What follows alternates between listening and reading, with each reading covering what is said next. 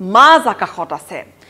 সাতত্ৰিছ হাজাৰ ফুটমান ওপৰত উৰি আছে বিমানখন আৰু হঠাৎ ছয় হেজাৰ ফুট তললৈ বিমানখন পৰি গ'ল। বিমানখন নামি আহিল। বিমানখনৰ ভিতৰত কি ধৰণৰ এটা অৱস্থা মুহূৰ্ততে ঘটিব পাৰে এবাৰ কল্পনা কৰি চাওকচোন। হয়তো কল্পনা কৰিলেও ভয় লগা কিন্তু এই মুহূৰ্তত ডিজিটেল লাইভত যি ঘটনা লৈ আহিছোঁ আপোনালোকৰ বাবে তেনেকুৱা এটা ঘটনা ঘটিছে ছিংগাপুৰ এয়াৰলাইন্সৰ এখন ফ্লাইটত এখন বয়িং বিমান। সেই বয়িং বিমানখন যাত্ৰা আৰম্ভ কৰিছিলে ছিংগাপুৰ অভিমুখে লণ্ডনৰ পৰা। লণ্ডনৰ পৰা যাত্ৰা আৰম্ভ কৰা এই বিমানখনৰ ঠিক এই ঘটনাটোৱেই হ'ল। আৰু তাত এগৰাকী লোকৰ মৃত্যু ঘটিছে। ব্যক্তি এজনৰ মৃত্যু ঘটিছে প্ৰায় সত্তৰ গৰাকীমানৰ বৰ ভয়ংকৰভাৱে তেওঁলোক আঘাতপ্ৰাপ্ত হৈছে। বহুতৰে মূৰত তেওঁলোকে বৰ বেয়াকৈ আঘাতপ্ৰাপ্ত হৈছে। মুহূৰ্তৰ ভিতৰতে কি ঘটিছিল?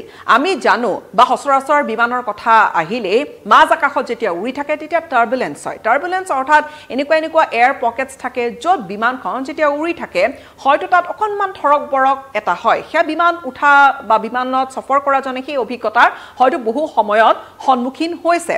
কিন্তু যেতিয়া সেই টাৰ্বুলেঞ্চৰ পৰা গৈ বিমানখন টাৰ্বুলেঞ্চেই ক'ব নোৱাৰি সেয়া এই পৰ্যায়ৰ এটা বিমানখনত ঘটনা ঘটিল যে বিমানখন একেবাৰে ছহেজাৰ ফুট তললৈ নামি গ'ল তেনেহ'লে আপুনি এবাৰ কল্পনা কৰি চাওক। আৰু এই যিটো ঘটনা বিমানখন থাৰ্টি ছেভেন থাউজেণ্ড ফিট সাতত্ৰিছ হাজাৰ ফুট ওপৰত উৰি আছিলে। হঠাৎ ছহেজাৰ ফুট তললৈ নামি আহিল আৰু তাৰপিছত বিমানখনৰ কণ্ট্ৰল আকৌ পাইলটে কৰিলে বিমানখন। তাৰপিছত ইমাৰ্জেঞ্চি লেণ্ডিং বেংককত কৰিলে। কিন্তু সেইখিনি যে তিনি মিনিটৰ সময়ত যে বিমানখন নামি আহিছিল তাত যেন সন্মুখত মৃত্যু দেখি গৈছিল। তাত থকা প্ৰত্যেকগৰাকীকৈ পেছেঞ্জাৰে কিছু ভিজুৱেলছ মোৰ পিছফালে এই মুহূৰ্তত। কেবিন ক্ৰু কেবিন ক্ৰুৱে হওক বা তাত আমি দেখিছোঁ এয়াৰ হষ্টেছ পেছেঞ্জাৰ কোনো কোনোৱে ছিট পৰিধান। এয়া এইবোৰ চাওক এইবোৰ বিমানৰ কিছু কিছু অংশ ছহেজাৰ ফুট একেবাৰে একেকোবেই নামি অহাৰ ফলত এইবোৰ আচলতে আমি আকৌ অকণমান আপোনালোকক দেখুৱাবলৈ চেষ্টা কৰিম। এই এই ঠাইবোৰ ইয়াত এই ধৰণে প্ৰত্যেকগৰাকী এইবোৰ সিঁচৰতি হৈ পৰি আছে। ওপৰত যিবোৰ এইবোৰ কেবিন বেগেজ থকা যিবোৰ বেগেজ ষ্ট'ৰেজ য'ত আপোনাৰ কেবিন অৰ্থাৎ আপোনাৰ হাতত থকা বেগবোৰ তাত ভৰাব পাৰি সেই ঠাইসমূহত আকৌ অকণমান আৰু দেখুৱাই আছোঁ। এইবোৰ ঠাইসমূহত এবাৰ এবাৰ এবাৰ চাওক এইবোৰ গোটেই খুলি আহি তাৰ পৰা বস্তু পাতি গোটেই নামি আহিছে তাৰ নামি আহিছে য'ত অক্সিজেন মাস্কবোৰ এমাৰ্জেঞ্চি কণ্ডিশ্যনত যেতিয়া বিমান এখনত অক্সিজেনৰ যেতিয়া প্ৰেছাৰ যদি কেবিন প্ৰেছাৰ কমি যায় তেনেহ'লে বিমানখনত এই ধৰণৰ আচলতে এটা এটা তাত এটা পৰামৰ্শ দিয়া হয় যে কাৰোবাৰ তেনেকুৱা অনুভৱ হ'লে বা ইমাৰ্জেঞ্চিৰ কণ্ডিশ্যনৰ সময়ছোৱাত জৰুৰীকালীন অৱস্থাত সেই অক্সিজেন মাস্ক নামি আহে অক্সিজেন মাস্ক কেনেকৈ আপুনি ব্যৱহাৰ কৰিব বা ইমাৰ্জেঞ্চিত কেনেকৈ হ'ব বিমানখনত উঠাৰ লগালগ সেই ধৰণৰ ইনষ্ট্ৰাকশ্যনছ দিয়া হয়। কিন্তু এইসকল লোকে জানো সেইবোৰৰ সময় পাইছিল। এইবোৰ হয়তো আপোনা আপুনি নামি পৰিছিলে। এতিয়া কি হৈছিল বিমানখনত সেয়া তদন্তত হয়তো ওলাব অনুসন্ধান হ'ব। ভৱিষ্যতে যাতে তেনেকুৱা নঘটে তাৰ বাবে হয়তো আৰু কিছু দৃশ্যাংশ আৰু আৰু আচলতে তাৰ সেই ভিতৰত কি হৈছিলে এইবোৰ পৰীক্ষা নিৰীক্ষা কৰি চালি জাৰি চাই হয়তো বিশেষজ্ঞসকলে এটা তেওঁলোকে এটা তেওঁলোকে সমাধানত উপনীত হ'ব বা হয়তো তেওঁলোকে এটা দিশ মুকলি কৰিব। কিন্তু এই যিসকল পেছেঞ্জাৰ তেওঁলোকে তেওঁলোকে সেই শিহৰণকাৰী বৰ্ণনা দাঙি ধৰিছে। তাত বহুকেইগৰাকী Singapore এয়াৰলাইন্সৰ flight S Q three two ওৱানত থকা বহুকেইগৰাকী পেছেঞ্জাৰ এই পেছেঞ্জাৰৰ ভিতৰত তিনিগৰাকী ভাৰতীয় পেছেঞ্জাৰো আছিলে। এগৰাকী তেসত্তৰ বছৰীয়া ব্ৰিটিছ নাগৰিকৰ মৃত্যু ঘটিছে। সত্তৰগৰাকী লোক মঙলবাৰৰ এই ঘটনাটো যথেষ্ট গুৰুতৰভাৱে আঘাতপ্ৰাপ্ত হৈছে। আৰু তেওঁলোকক ততাতৈয়াকৈ চিকিৎসালয় লৈ যোৱা হ'ল যিহেতু বেংককত জৰুৰীকালীন অৱতৰণ কৰিলে বিমানখনে।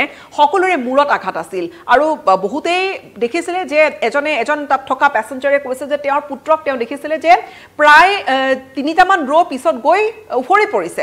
অৰ্থাৎ কি হয় যেতিয়া টাৰ্বুলেঞ্চ হয় বিমানত উঠিলে বা বিমানত যাত্ৰা কৰিলে হয়তো এই কথাখিনি মন কৰিছে যেতিয়া টাৰ্বুলেঞ্চ হ'ব বা বিমানত যদি কিবা ইমাৰ্জেঞ্চি বা যদি বতৰ বেয়া হৈছে বতৰ বেয়া হ'লেও সেই বিমানখনে থৰবৰ কৰিবলৈ যেতিয়া আৰম্ভ কৰে সেই ধৰণৰ চিটুৱেশ্যনত যাতে কোনো ডাঙৰ ঘটনা নঘটে পাইলটে কি কৰে ছিট বেল্টৰ চাইন অন কৰি দিয়ে য'ত আপুনি বহিব বিমানখনৰ তাৰ ওপৰত সেই ছিট বেল্টৰ চাইন তাত অন হৈ যায়। আৰু সেই ছিট বেল্টৰ চাইন অন হোৱাৰ লগে লগে পাইলটে কৈও দিয়ে যে যাত্ৰীসকলক ছিট বেল্ট পৰিধান কৰিবলৈ অনুৰোধ কৰা হ'ল কিয়নো টাৰ্বুলেঞ্চ আছে বা বতৰ বেয়া হৈছে। এনেকুৱা ধৰণৰ হয়তো বহুতেই অভিজ্ঞতা লাভ কৰিছে বা সচৰাচৰ বিমানত এই ধৰণৰ কথা বতৰাখিনি থাকে। কিন্তু ইয়াত কি হৈছিল? ইয়াত তেনেকুৱা কোনো সংকেত দিবলৈ কোনো ৱাৰ্ণিং দিবলৈকে সময়ে নাপালে। হঠাৎ এই ঘটনাটো ঘটিল ছহেজাৰ ফুট তললৈ নামি আহিছিলে। একত্ৰিছ হাজাৰ সাতত্ৰিছ হাজাৰ ফুটৰ পৰা একত্ৰিছ হাজাৰ ফুটলৈকে নামি আহিছিলে তাকো তিনি মিনিটত। আৰু ঠিক তেতিয়া যিহেতু পেছেঞ্জাৰসকলে যাত্ৰীসকলে তাত ছিট বেল্ট পৰি থকা নাছিলে এটা নিৰ্দিষ্ট সময়লৈকে টেক অফ আৰু লেণ্ডিঙৰ সময়ত নিৰ্দিষ্ট সময় এটালৈকে ছিট বেল্ট পৰিধান কৰি থকাটো বাঞ্চনীয় সেয়া কৰি থাকিব লাগে। কিন্তু তাৰপিছত যেতিয়া ছিট বেল্ট খুলিবলৈ সংকেত বা অনুমতি পাইলটে দিয়ে তেতিয়া সাধাৰণতে সাধাৰণ সাধাৰণতে কি হয়? যাত্ৰীসকলে ছিট বেল্ট পৰিধান কৰি নাথাকে। কিন্তু এই যিটো ঘটনা পাইলটে সংকেত দিবলৈ সময়কণেই নাপালে। পাইলটে হয়তো কোনেও গমেই নাপালে কি হ'ল মুহূৰ্ততে উফৰি পৰি ইফাল সিফাল হৈ পৰিল। কোনোবাই গৈ চিলিংখনত অৰ্থাৎ প্লেনৰ যি মুধচটো তাত গৈ খুন্দিয়ালে। অৰ্থাৎ যি চিলিংখন দৃশ্যমান হৈ থাকে তাত গৈ খুন্দিয়ালে। কোনোবাই ছিটত গৈ খুন্দিয়াইছে। মুহূৰ্ততে বহুজন উফৰি পৰিছিল আৰু এইবোৰ দৃশ্যই সেইখিনি বৰ্ণনা কৰিছে। ক্ৰুৰ পৰা আৰম্ভ কৰি যাত্ৰীসকলে সকলো তাত আঘাতপ্ৰাপ্ত হৈছিলে। আৰু তাত তিনিগৰাকী ভাৰতীয় থকাৰ কথা ইতিমধ্যে কৈছোঁ। এই ছিংগাপুৰ এয়াৰলাইন্সৰ বিমানখনত ছাপন্নগৰাকী অষ্ট্ৰেলিয়ান নাগৰিক আছিল দুগৰাকী কানাডিয়ান। এগৰাকী জাৰ্মান দুগৰাকী ইণ্ডোনেছিয়াৰ এগৰাকী আইচলেণ্ডৰ চাৰিগৰাকী আয়াৰলেণ্ডৰ আইৰিছ লগতে এগৰাকী ইজৰাইলী নাগৰিক আছিলে ষোল্লগৰাকী মালয়েছিয়ান নাগৰিক আছিলে দুগৰাকী ম্যানমাৰৰ তেইছগৰাকী নিউজিলেণ্ডৰ পাঁচগৰাকী ফিলিপিনছৰ চাৰিগৰাকী ছিংগাপুৰৰ আছিলে ছাউথ কোৰিয়াৰ এগৰাকী আছিলে স্পেনিছ নাগৰিক এগৰাকী আছিলে আৰু সাতচল্লিছগৰাকী ইউনাইটেড কিংডমৰ আছিলে। এতিয়া এইখিনি হিচাপ ওলাইছে বা স্বাভাৱিকতে ঘটনা এটা ঘটাৰ পিছতে গোটেই তথ্যবোৰ পোহৰলৈ আহিছে। টাৰ্বুলেঞ্চ কোনো ধৰণৰ ঘটা নাছিলে ঘপককৈ বিমানখন সৰি পৰিল। একত্ৰিছ হাজাৰ ফুটলৈকে সাতত্ৰিছ হাজাৰ ফুটৰ পৰা। আৰু তাৰ পিছতে এই যিটো এটা ভয়ংকৰ অভিজ্ঞতা এই ভয়ংকৰ অভিজ্ঞতাৰ কথা বৰ্ণনা কৰিছে ছ'চিয়েল মিডিয়াতো বিভিন্ন ধৰণেৰে এই বিমানখনৰ ভিতৰত কি হৈছিলে সেই দৃশ্যবোৰ ভাইৰেল হৈ পৰিছে ফটো ভাইৰেল হৈ পৰিছে।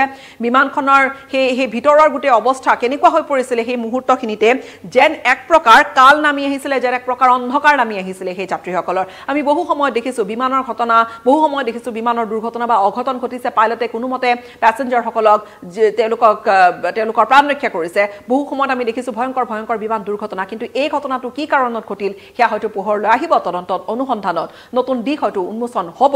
কিন্তু এই মুহূৰ্তত সেইখিনি সময়ৰ কথা ভাবি সেই অভিজ্ঞতা বৰ্ণনা কৰি সঁচাকৈয়ে যেন শিয়ৰিত হৈ উঠিছে বা বুকু কঁপি উঠিছে তাত থকা যাত্ৰীসকলৰ পাইলটৰ ক্ৰুসকলৰ কিন্তু সমান্তৰালকৈ যিয়ে এই দৃশ্য আচলতে ছ'চিয়েল মিডিয়াত দেখিছে তেওঁলোকৰো যেন ক'ৰবাত বুকু কঁপি উঠিছে নমস্কাৰ